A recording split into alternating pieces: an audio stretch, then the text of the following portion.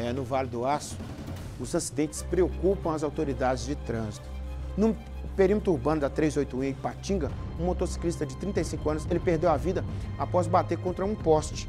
Já na BR-458, dois acidentes foram registrados em menos de 12 horas. Olha, nossa equipe conversou com a Polícia Militar Rodoviária sobre as três situações, né? E a reportagem está aqui, pode balançar.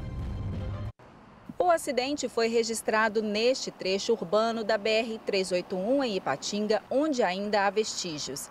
O trânsito estava tranquilo na rodovia por causa do feriado de aniversário da cidade. Renide Salizardo, de 35 anos, era o condutor da motocicleta. Testemunhas contaram à polícia que o motociclista parecia estar perdendo o controle enquanto pilotava o veículo. E foi aqui que ele acabou batendo neste poste e morreu no local. Mais essa vida ceifada aí no, no, no trânsito, né? Que é, que é perigoso, né? não só em Patinga, mas em contexto de Brasil. Né? Então esse condutor da motocicleta, né? uma pequena curva bem suave, né? e ontem aqui na nossa cidade de Patinga, né? feriado, então a rodovia é bem, bem vazia.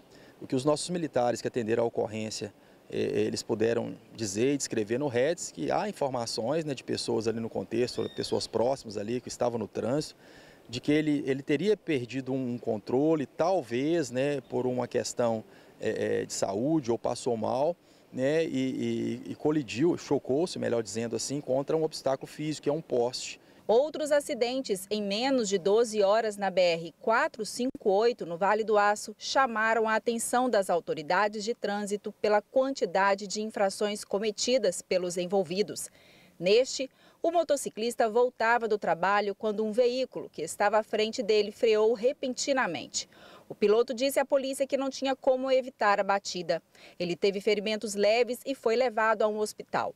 Já o motorista da caminhonete dirigia com a carteira de habilitação suspensa. Ele foi levado à delegacia, onde foi multado e teve a CNH apreendida.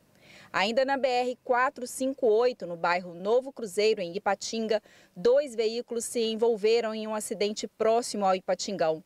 Uma mulher envolvida na batida apresentava sinais de embriaguez e estava com a carteira de habilitação vencida. O veículo estava sem licenciamento e foi apreendido. A motorista se recusou a fazer o teste de etilômetro e foi conduzida à delegacia de polícia civil.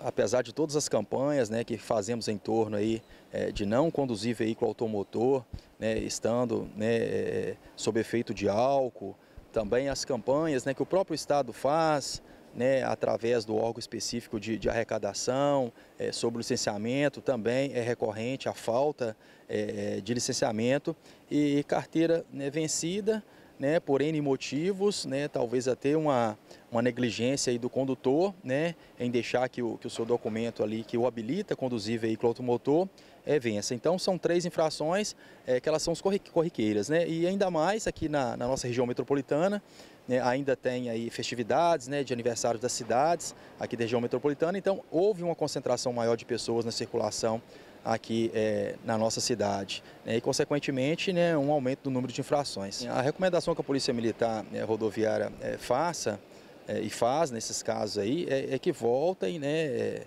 é, pelas rodovias, obedecendo todas as regras de circulação aí do CTB, né, obedecendo principalmente os limites regulamentares de velocidade para a via e prefiram retornar no período diurno e não no noturno.